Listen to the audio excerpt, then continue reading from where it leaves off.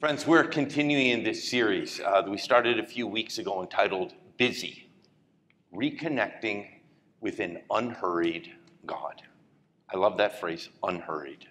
So often we're in a hurry, but we have a God who isn't, who's ready whenever we're ready to slow down and listen, to slow down and engage.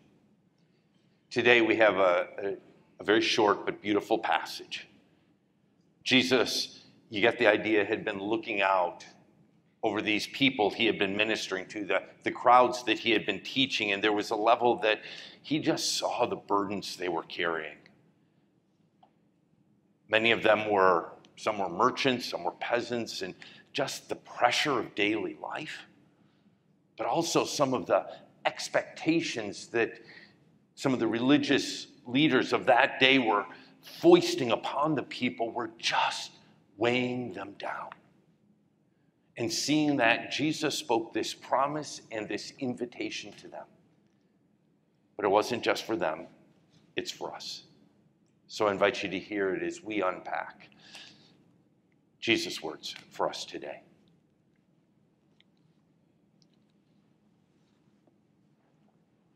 Our reading today is from the Gospel of Matthew, chapter 11, verses 28 to 30, which can be found on page 809 in the Bibles you were given as you entered.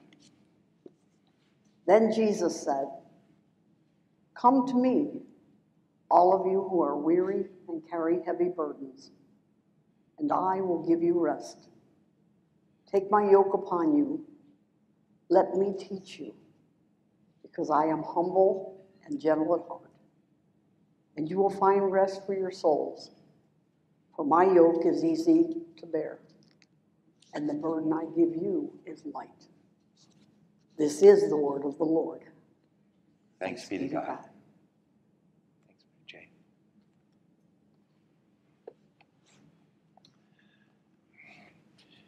Grace, mercy, and peace to you from our Lord and Savior, Jesus Christ. Amen. They call it the rat race or living on a hamster wheel. Take a look.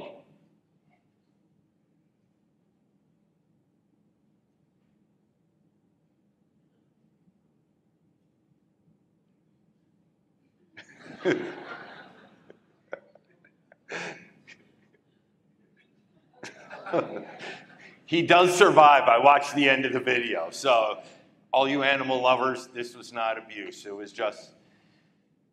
But I watch a little snippet like that and I just can resonate. Sometimes I feel like the hamster on the wheel, and sometimes I feel like the one just holding on for dear life. My guess is there are moments like that for you as well. When I've thought about it over the last weeks as we've been in this series, been trying to reflect on what are the things that drive us often to live busy, busy lives. To me, it is, in my reflection, it seems like there are two things today that seem to drive it. One of those is FOMO, and the other is expectations. For those of you who aren't familiar with the term, FOMO just means fear of missing out. We're surrounded by so many options these days so many opportunities, and, and many of us have some means to be able to pursue some of those. But we're always afraid, like, well, I'm doing this, but oh, maybe I should be doing that.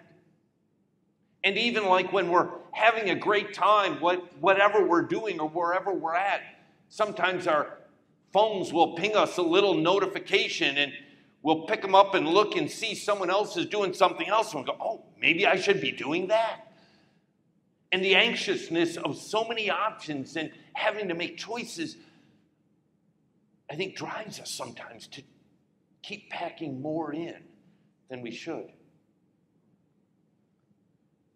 I think one of the other drivers of busy, though, is also the expectations in our lives. Our expectations for ourselves, our expectations for our kids, our culture's expectations, or even God's expectations for us? We live in this swirl of expectations around us, and we keep trying to measure up to what the world says we should be doing or what we think God is telling us to do. And sometimes in the swirl of that, we just keep going, going, going. But for me, as I said before, busy isn't simply how much we have in our schedule because some of us can handle a lot of activity and still feel rested and renewed, and other of us, two or three things, and we're a little stressed. It really, busy is about how we feel about that rhythm of our lives. And then when that rhythm gets out of whack, we feel the anxiousness of busy, the overwhelm of busy, the stress of too much packed in, the stress of unmet expectations, the anxiety of not being where we should be. And too often we live that way. But there's another way of living at a pace that feels reasonable and sustainable and fulfilling. In Jesus' day, I don't know that they lived so much with FOMO because they didn't have that many options like we do. And they certainly didn't have cell phones and social media to tell them what everyone else was doing. But they certainly lived with expectations expectations of their community, as many lived in small towns, expectations of their families, and expectations from God. As Jesus looked at the people struggling in front of him, his heart broke. And he spoke this word of promise and invitation to them Come to me, all you who are weary and carry heavy burdens, and I will give you rest. Doesn't that sound good? Doesn't it? When we're weary and weighed down with expectations or anxiousness about what we should be doing. Either because, and then what results from that, either the racing around in our lives or the racing around in our brains. We just want some rest. Give me a hammock on a sunny day. Give me a nap with the curtains closed. Give me rest. And that is what Jesus promises us today, friends. He promises us rest. Now, some of you, knowing that we started out this series by providing you all with God boxes to help us to put our worries and our anxiousness in there, you may be looking around and going, like, what are they giving us today? Are we going to be getting the heavenly swing lounger as we leave worship today. Maybe that's what they're handing out. Well, look around. It's not there. Sorry. Because when Jesus promises us rest, he doesn't promise us this, as appealing as that looks. Actually, he promises us something very different something surprising, something that feels like it almost undermines the promise of rest. Because Jesus' next line after saying, And I will give you rest, he then says this Take my yoke upon you. For those of you who don't know what a yoke looks like, it's that thing up on the top. And yes, that's how a yoke is used. that doesn't look as appealing as a heavenly swing lounger in my mind. A yoke is a tool for getting things done. A yoke is a tool for moving heavy weights. And Jesus says, I'll give you one. And I'm like, thank you very much, Jesus. Keep your yoke to yourself. You see, when we think of rest, we think of vacations, sitting on a beach with an umbrella drink in our hand. But think about it for a minute, friends if we live crazy busy lives 50 weeks out of a year, and then for one week or two we get away to collapse in exhaustion, only to pick it up and run crazy pace for another 50 weeks and do that again and again, that ain't the greatest rhythm for one's life. What Jesus wants to offer us is a release from unhealthy expectations, a rhythm that can work year round, a healthy rhythm, a sustainable rhythm. He calls it a yoke, his yoke, a way of living and doing in the world that makes sense, that doesn't overwhelm, a way of seeing the world and being in the world that is fulfilling, but not overfull. And if you wonder what that looks like, what that rhythm looks like, in the very next line, Jesus tells us what it is and how to find it. For he says, Let me teach you, because I am humble and gentle at heart, and you will find rest for your souls. Friends, if we are going to find a healthy rhythm for our lives, Jesus essentially says, Look at my life. Look at how I did life, because I am here to model for you a healthy and wholesome rhythm for your life.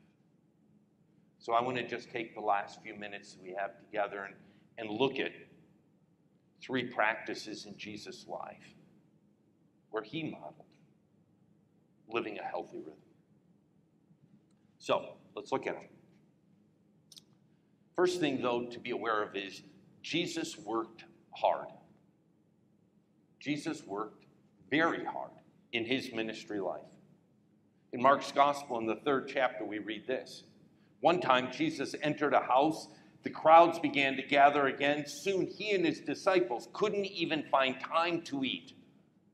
Friends, there are times where I work hard as a pastor. I can work very hard, but I never miss out on a meal. I have my priorities straight. I find food somewhere. Earlier in that chapter, Jesus, Mark also tells us this a large crowd followed Jesus he instructed his disciples to have a boat ready so the crowd would not crush him. He had healed many people that day, and so all the sick people eagerly pushed forward to touch him. Jesus worked hard and he had a job that wasn't sort of nine to five, clear start and stop.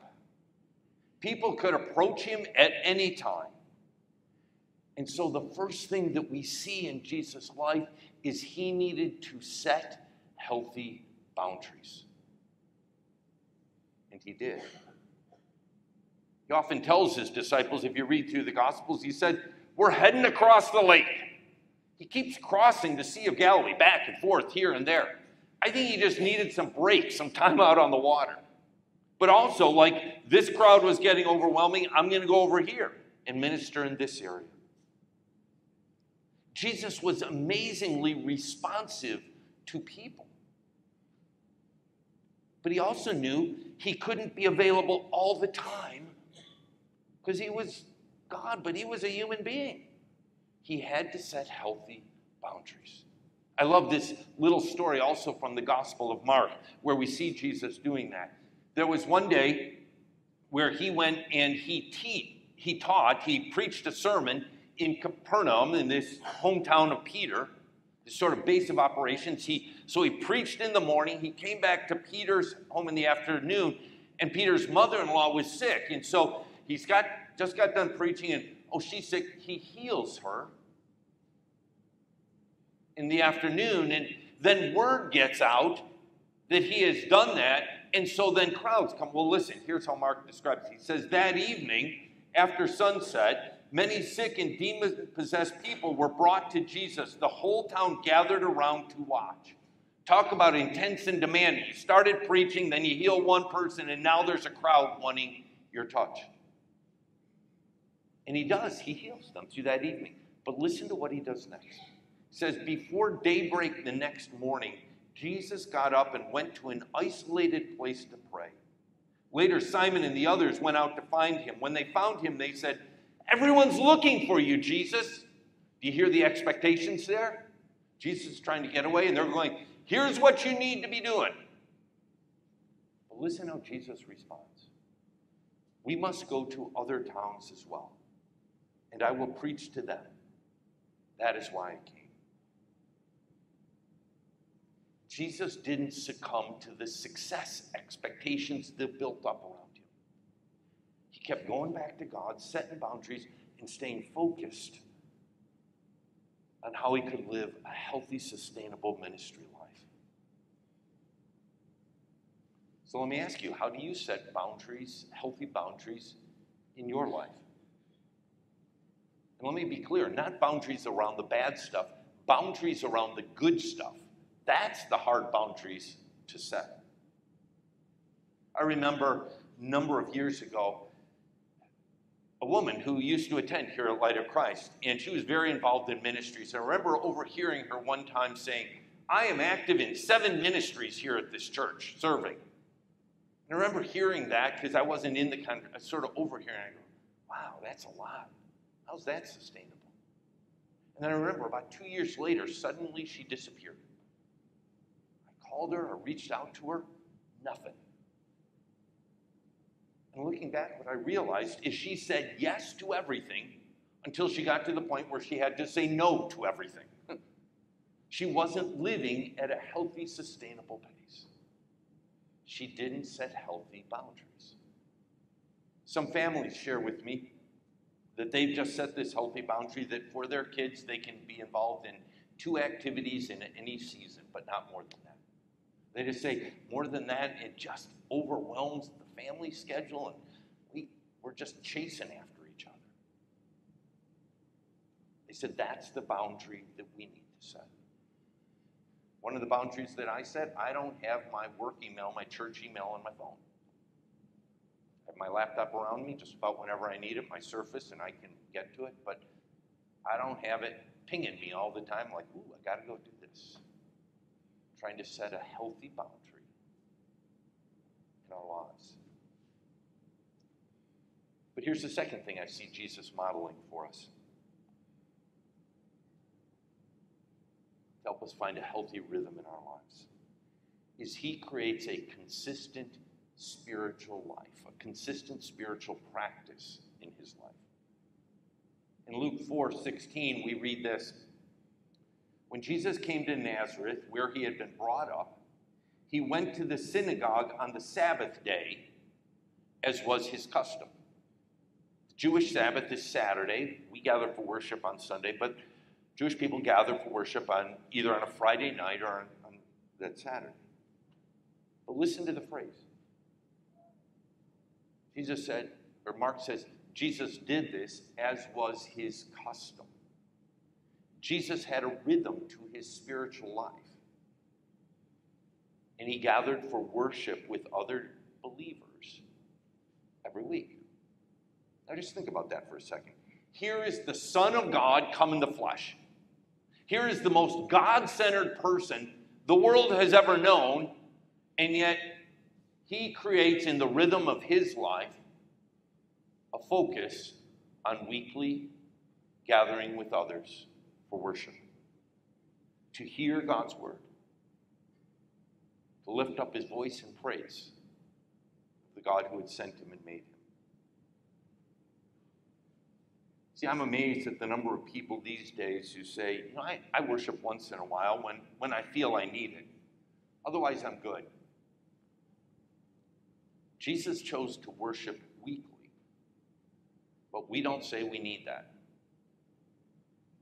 I guess maybe some of us are better than Jesus. it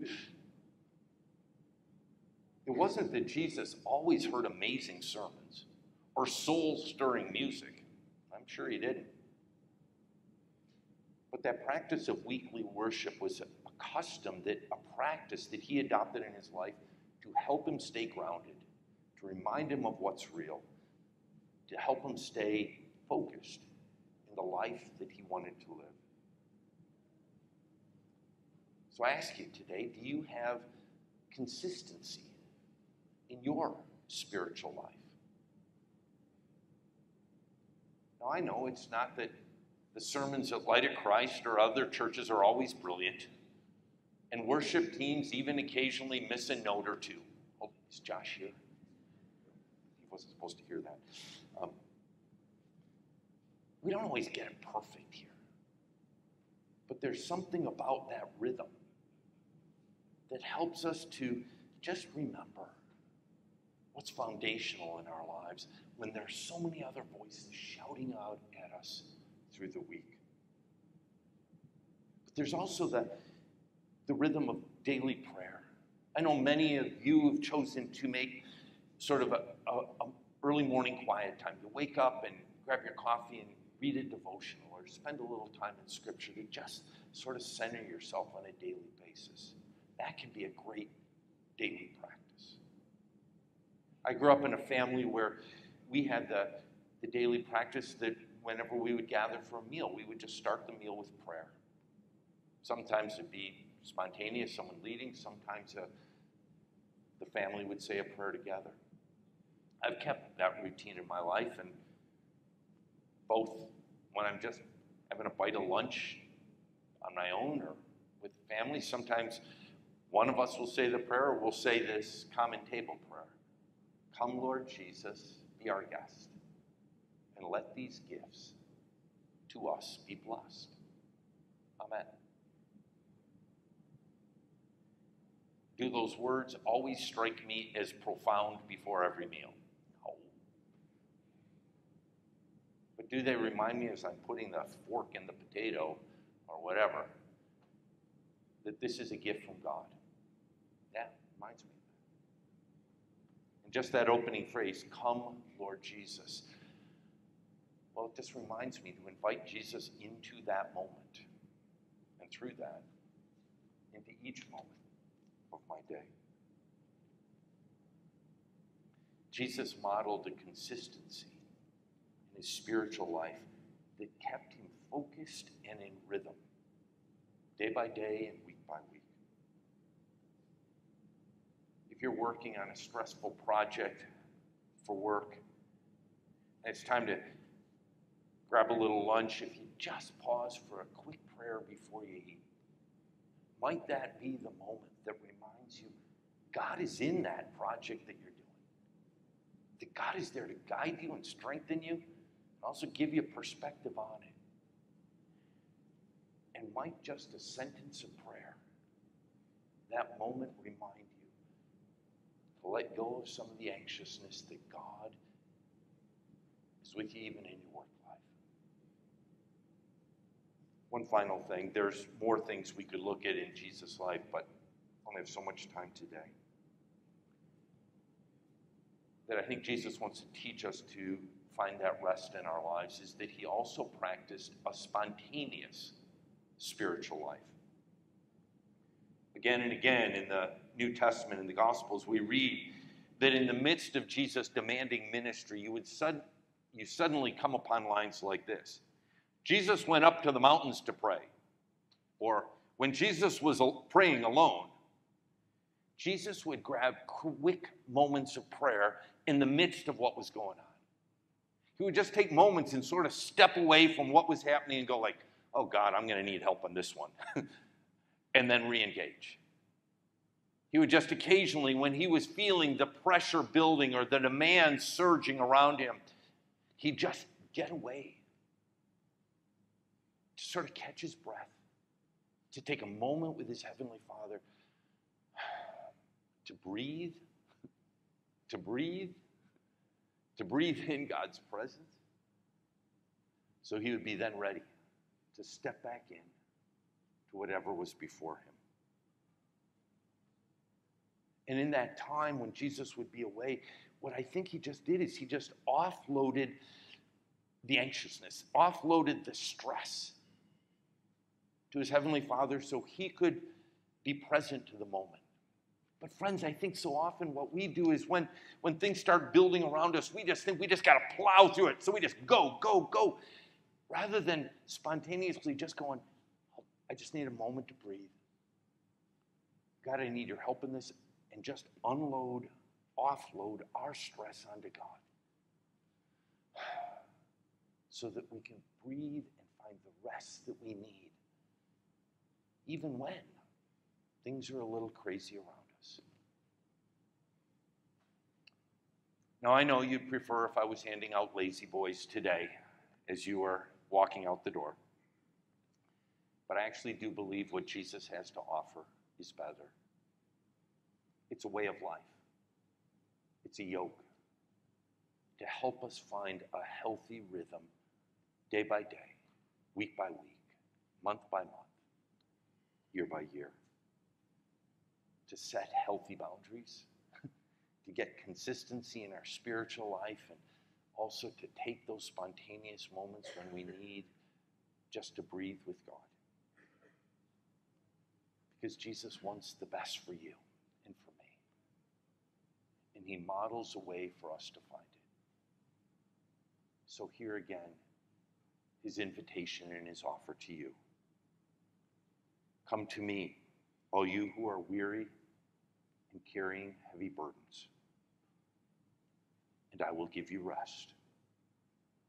Take my yoke upon you and learn from me, for I am gentle and humble in heart, and you will find rest for your souls. For my yoke is easy, and my burden is light. Let's find the right rhythm and rest in our Lord. Let's pray. Jesus, we're here today because your reckless love keeps reaching out to us and in the, the scurrying of our lives. Sometimes we can lose sight of how to really live. So just meet with us in this time of worship today and remind us of what is real. Remind us of rhythms that can keep us breathing, keep us sane, keep us healthy and whole. Thank you for meeting us here today. And may your word speak deeply into our souls this morning. In your name, Jesus, we pray.